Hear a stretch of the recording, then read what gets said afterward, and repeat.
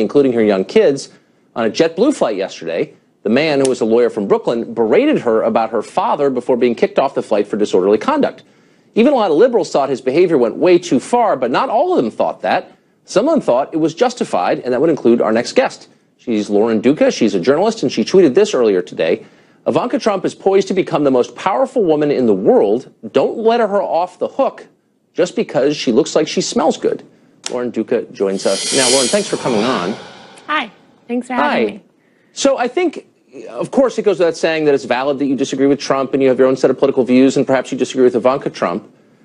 I wonder, though, screaming at a mom and her kids on an airplane seems like a violation of privacy and decency and good manners, and it raises the question what are the venues where you shouldn't scream your political views at people? Would a funeral be out of bounds? Church? Her son's bris? Like, what are the rules on that? Oh, at a at a bris.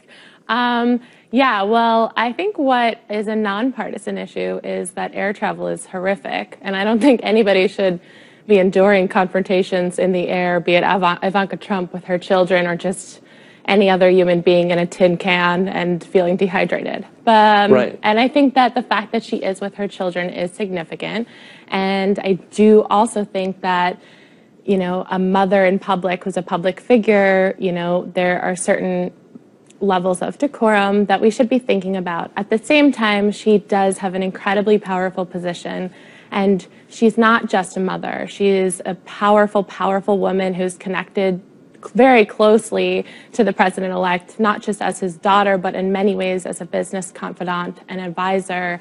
And I think that we haven't quite been able to define what all those roles mean. So while I don't, you know, I don't want anyone being yelled at on a plane. I, I don't want anyone yelling at me on a plane. I don't want to yell at anyone on a plane. But I think that, you know, Ivanka's incredibly compelling brand and presence and role as a mother and successful woman, those are interesting and attractive elements of her Right. brand, but I don't know that, you know, where do those protections end too? Kind of would ask you the same question as Well, but, funeral but, but breast wait, a mean, thing. that's not at all what your tweet suggested. In addition to the one that we just read, you put, I think we can put it on the screen. My you tweet didn't even uh, didn't talk about the plane at all, actually. So what are you referring to? Well, it was to? within the con. Look, Ivanka Trump was in the news about because she was screamed at on the airplane, and you say, "Don't let her off the hook." And then you go on to say in another tweet, Ivanka has it all, and by that I mean a job, a family, and sinister complicity in Mm-hmm. aiding the most aggressively anti-woman candidate of our time. Yes. Sinister complicity. She's his daughter. What is that? I She's mean, a sur- she was a surrogate frequently throughout, represented him in terms of women issue- women's issues.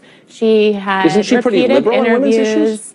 and she did speeches on his behalf where she represented a, a platform of women's empowerment. And um, in terms of having it all I, you know, I think she's an incredibly successful brilliant woman. The fact that she was able to balance him out on these issues where he has talked about defunding Planned Parenthood and being against abortion and these typically liberal women's issues that she sort of is a cushion for. I think we need to investigate those things a little more critically, a little more rigorously, and not be blinded by the fact that she looks like she smells like vanilla.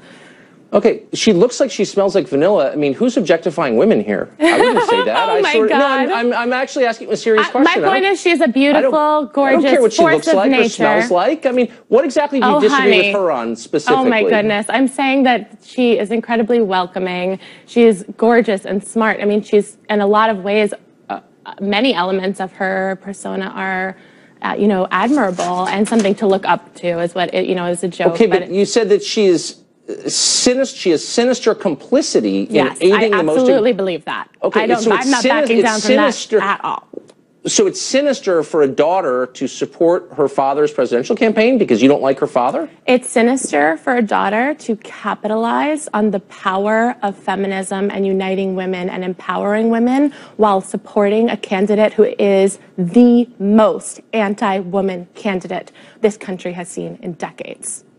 What, what does that even mean? Like, why don't you tell? I mean, what? It's, he's anti. wo- She's anti-woman because he wants to defund Planned Parenthood. I'm sorry, said, is that what I said? I, I think my You said- earpiece might not be working because that is most certainly not what I said.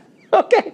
She's guilty because he's anti-woman. She's complicit in his quote anti-woman positions. To continue to let- stump let and support his again. positions. But it's her dad.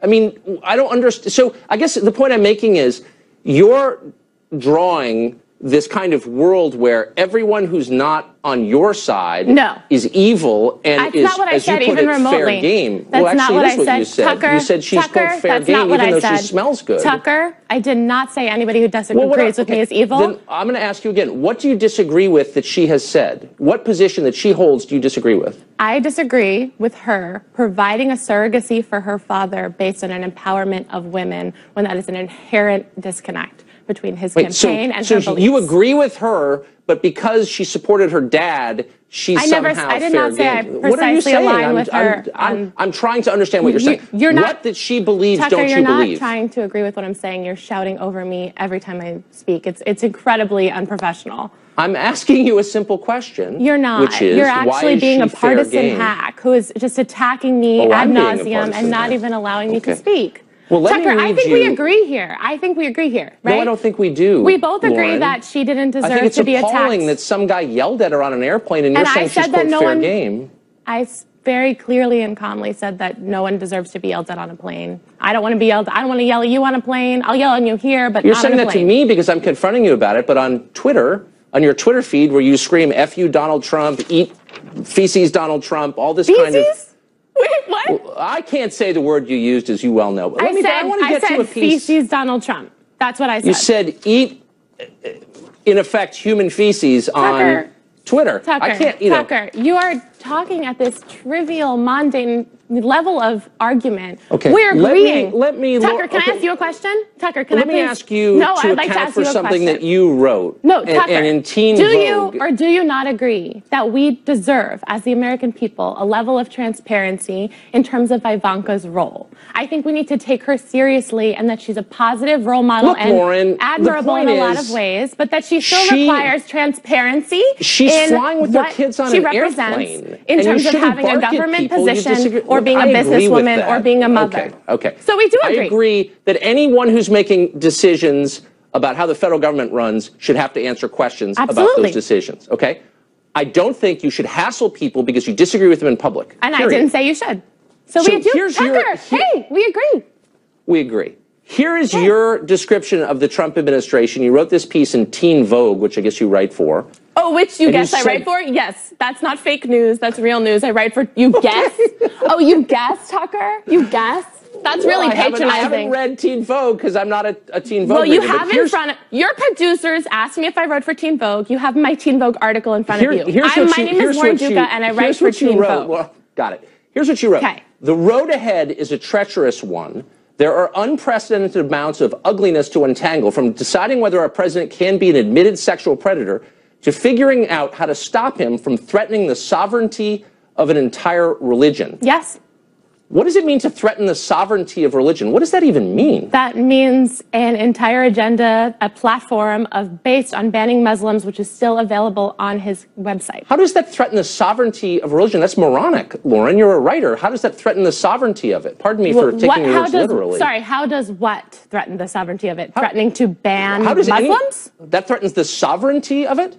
Yes, that completely that that profiles based on the basis of religion and reduces people to their beliefs and dictates what they can and cannot publicly Uh, believe. That doesn't threaten the sovereignty of it. Um, so you, you also Right. accused him on Chelsea Handler's show of, quote, committing a form of psychological abuse that makes the victim feel like they're crazy. Does Trump make you feel like you're crazy? That's the impression I'm getting. Oh my God, are you calling me crazy? That's I'm, adorable. I'm asking That's you, you said so on Chelsea. Handler, he's committing psychological abuse on you.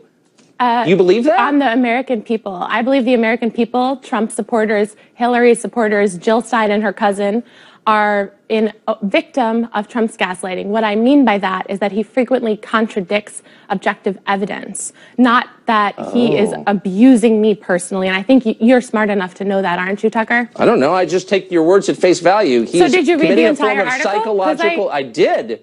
I also read Liam Payne is 100% certain One Direction will continue. Ariana Yes. Grande rocked the most epic thigh-high boots at Yeah. Jingle Bell, and So, Blac team, Chyna and Rob Kardashian went through the messiest breakup of 2016. Those are your other pieces.